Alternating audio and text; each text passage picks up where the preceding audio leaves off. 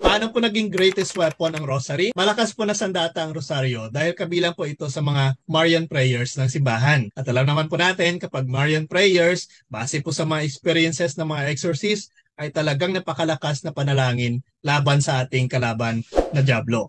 Devils are afraid of Mama Mary. Dahil sa pasimula pa lang ay malinaw na dalawang grupo lamang ang magkakalaban.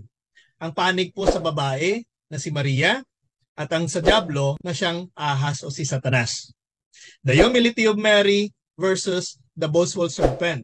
At kahit kailanman ay hindi mananalo ang pride sa humility. Dahil ang Diyos po ay itinataas ang mga mapagkumbaba at ipinapababa ang mga mapagmalaki.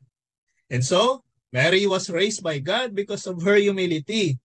Kaya kahit po sa ating panahon ngayon, sa tuwing nagdarasal po tayo ng rosaryo, nagsisilbi itong sandata laban sa Diablo. Dahil kung saan man naroroon ang presensya ni Mama Mary, nawawala ang presensya ng Diablo.